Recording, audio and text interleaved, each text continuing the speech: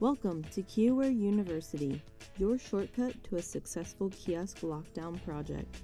Get yourself on the Dean's List by following this video and more from KioWare.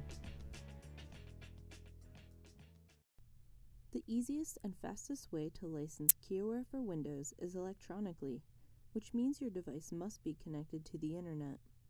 Start by opening the Config tool and clicking the License tab. Choose the product you purchased from the Model drop-down menu. In this case, we're licensing KioWare Full, so we'll choose Full from the Model drop-down menu. In the Transaction Number field, enter the license transaction number from your purchase information. Next, enter the authorization code, also from your purchase information.